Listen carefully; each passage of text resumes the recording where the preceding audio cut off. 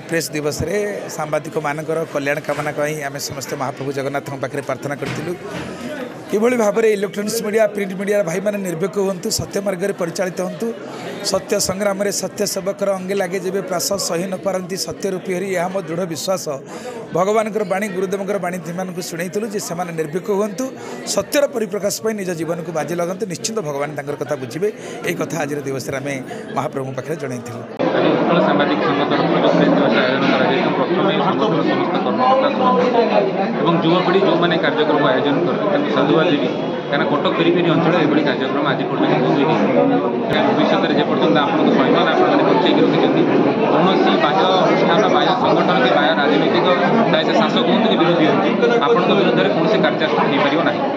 ଏବଂ ପ୍ରତିଶୋଧିତ ହେଉଛି ଆମ ଯୁବପିଢ଼ି ସମ୍ପୂର୍ଣ୍ଣ ସମର୍ଥନ। ଏ ଯାଦବ ଆପଣଙ୍କର ସାମ୍ବାଦିକ ଅନୁଷ୍ଠାନ ପ୍ରତି ଆମମାନଙ୍କ ରହିଆସିଛି କଟକ ଜିଲ୍ଲା ଉତ୍କଳ ସାମ୍ବାଦିକ ସଂଘର ଜାତୀୟ ପ୍ରେସ୍ ଡେ ମହୋତ୍ସବ ପାଳନ କରାଯାଉଥିଲା ଚୌଦ୍ୱାରରେ କଟକ ଜିଲ୍ଲା ଶାଖା ତରଫରୁ।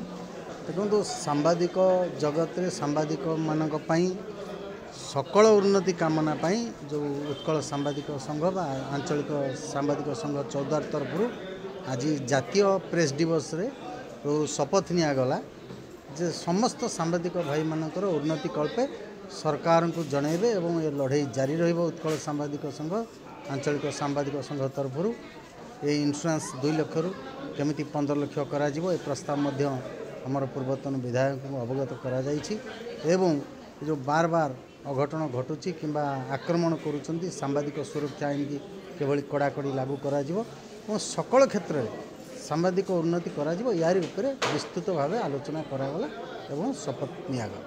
କ'ଣ ମେସେଜ ରହିବ ଉତ୍କଳ ସାମ୍ବାଦିକ ସଂଘ କଟକ ଜିଲ୍ଲା ଚୌଦ୍ୱାର ଶାଖା ଆଜି ପ୍ରଭୁ କପାଳେଶ୍ୱରଙ୍କ ପୀଠରେ ଆଜି ଜାତୀୟ ପ୍ରେସ୍ ଦିବସ ପାଳନ କରୁଛନ୍ତି। ମୁଁ ସଂଘର ସଭାପତି ସମ୍ପାଦକ କର୍ମକର୍ତ୍ତାମାନଙ୍କୁ ବହୁତ ବହୁତ ଧନ୍ୟବାଦ ଜଣାଉଛି।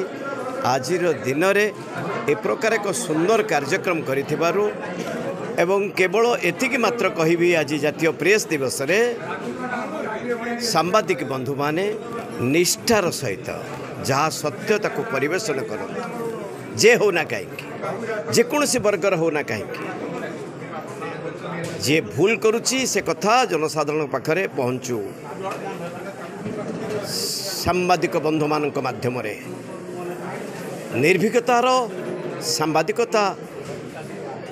ସାମ୍ବାଦିକ ବନ୍ଧୁମାନଙ୍କର ପରମ ଧର୍ମ ହେଉଛି ନିର୍ଭୀକତା।